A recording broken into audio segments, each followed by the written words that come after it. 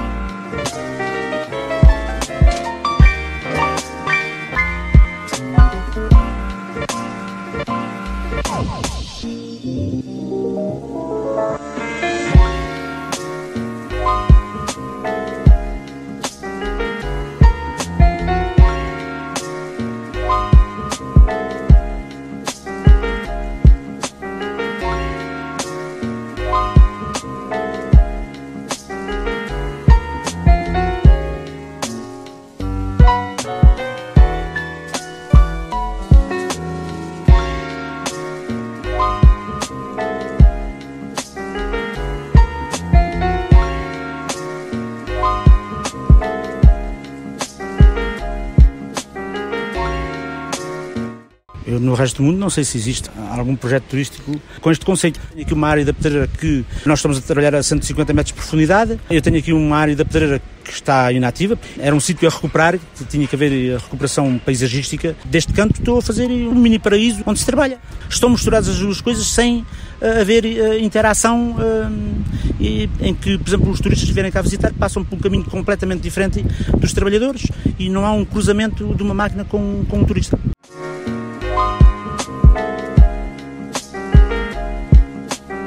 out.